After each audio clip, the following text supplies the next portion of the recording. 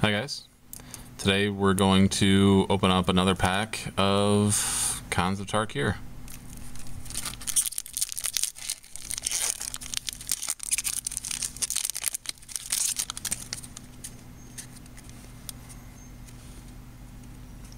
Okay.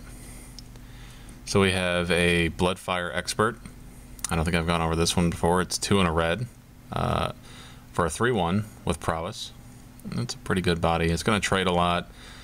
It's unfortunate, but if, if you're in the Jeskai colors or anything like that, sometimes it's not so bad. Smite the Monstrous. Glacial Stalker. Canyon Lurkers.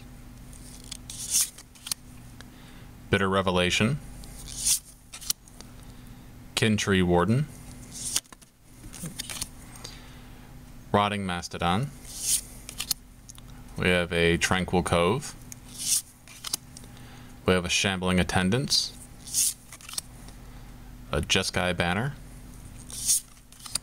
Our first uncommon is Timely Hordemate. I haven't gone over this one before, so it's 3 and a white for a 3-2. It has Raid. When Timely Hordemate enters the battlefield, if you attacked with a creature this turn, return target creature card with converted mana cost 2 or less from your graveyard to the battlefield. I think that's a pretty cool card. Uh, cool enough that maybe it'll see standard play um, or constructed play. Uh, in limited, I think it's also uh, pretty good.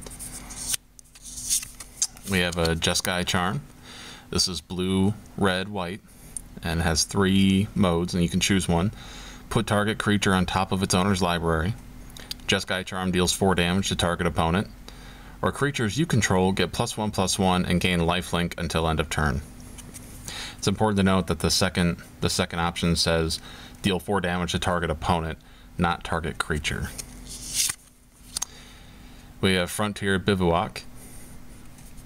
And our rare is Siege Rhino. So we got one of these before. Very happy to get to get another one. I think this is going to be a very relevant uh, constructed card. It's one white, black, green. Uh, it's a 4-5 with trample, and when it enters the battlefield, an opponent loses three life, and you gain three life. So that's a very that's a very cool card, and I'm glad I got that. In the colors that I want to play too. My favorite card to play is a Plains, and we got a Tiff card.